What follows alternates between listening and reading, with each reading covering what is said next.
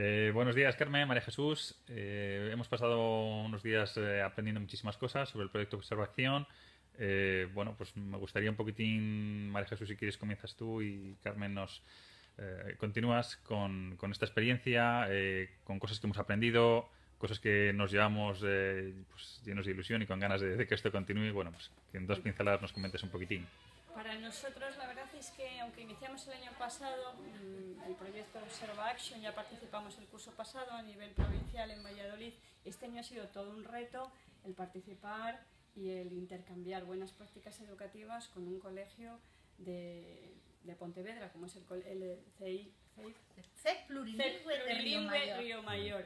Entonces, bueno, pues sí que estamos encantados con la experiencia porque al ser algo interautonómico vas saltando un poco además ya barreras de tu propia comunidad con unas mm, leyes y una normativa muy establecida a otra comunidad educativa totalmente diferente. Eh, ellos llevan un modelo educativo un poco diferente al nuestro, de eso hemos aprendido un montón. Ellos trabajan por proyectos, queremos iniciar el aprendizaje por proyectos y la metodología a través de proyectos y nos llevamos una cantidad de ideas y prácticas buenísimas para Bueno, empezar a, pues a- a funcionar. Fenomenal. Carmen, eh, nos has tenido que. Nos has dado cobijo durante estos días, nos has enseñado muchas cosas. Eh, bueno, pues eh, creo que Margarita Salas se lleva un montón de, de ilusión y de cosas eh, muy, muy positivas. Entonces, que nos opines un poco sobre el proyecto, esa continuidad, eh, si Mira. puede ser, y bueno. Para nosotros fue un reto que al, al principio nos suponía pues un esfuerzo porque decíamos, Dios mío, estaremos a la altura de, de las circunstancias. Date cuenta que nosotros llevamos en el equipo directivo dos años, donde estamos haciendo grandes cambios metodológicos, donde aunque había antes una pequeña historia ya en el centro sobre, sobre trabajos por proyectos, fue de forma que coincide con el cambio del equipo directivo cuando empezamos en esta nueva metodología. Y gracias a la semillita que pone pues un profesor, en este caso la jefa de estudios, que es Beatriz, y Mariluz Lorenzo, que es la, la orientadora del centro, que es las, la que nos, las que nos fueron un poco involucrando, y gente que ya estaba formada en estos temas. Había gente como yo, pues que en un principio era un poco reacia, tengo que reconocerlo, y me daba un poco de miedo, ¿no? Sentía como un abismo. Pero ellos lo están haciendo tan bien, lo organizan todo tan bien, mis compañeros, que hacen que todos nos subamos al carro, todos estamos involucrados, que es una cosa muy importante. En el centro, los 16 eh, profesores que formamos el equipo de- de- del centro, del el claustro, estamos todos involucrados. Si fuera, mm, si no fuera así, sería imposible. Imagínate el grupo de los 16, con que hubiera uno que no No quisiera. quisiera, sería muy difícil Claro. la convivencia.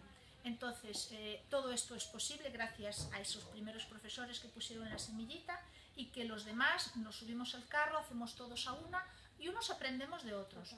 Agradecemos también al, al Centro de Formación y Recursos por todo el asesoramiento que nos presta, porque están muy pendientes, están muy interesados en que esto vaya arriba y bueno, y tuvimos la enorme suerte de que nos ha tocado para este proyecto el Colegio CEIP Margarita Salas, porque ya primero nuestras compañeras allí, vinieron, nos contaron que había una forma de trabajar, sí, diferente a la nuestra, pero de la cual también nosotros teníamos mucho que aprender. Bueno. Nos hablaron de un proyecto de lectoescritura que nos está pues ya dándole vueltas aquí para ver cómo nosotros podemos hacer y, y llevarlo a la práctica en nuestro colegio, pues agrupándolo a ese proyecto, a ese hilo conductor que tenemos que nos sale de la biblioteca, que es el eje dinamizador, cómo lo podemos engranar para el año que viene hacer lo que hacéis vosotros.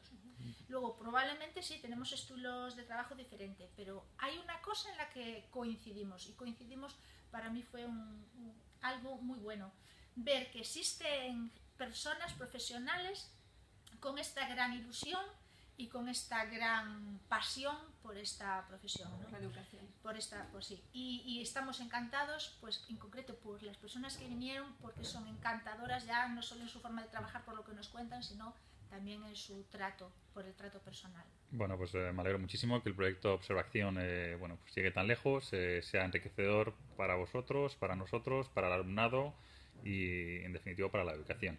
Muchas gracias por este tiempo. Yo quería agradeceros a vosotros todo el esfuerzo que os supone, también trasladarle nuestro agradecimiento a vuestros superiores en cuanto a inspección, porque sin ellos tampoco podríamos estar hoy trabajando aquí, tanto a, a vuestra inspección como a la nuestra. y quería bueno pues tener ese momento de agradecimiento también para ellos ¿eh? Muy bien. un saludo para todos Pues vale. Por nuestra parte lo mismo, también agradecer a todo el claustro de profesores, y tanto estamos en del CEIP Río Mayor como del Colegio Margarita Salas, porque para que ellos hayan podido viajar y nosotros también hay un equipo de profesores que está ahí sujetando el, Sí. el colegio. O sea que agradecer también que esto no es nada más que el resultado y el esfuerzo de, de dos equipos de profesorado, tanto de Galicia como de Castilla y León. Vale.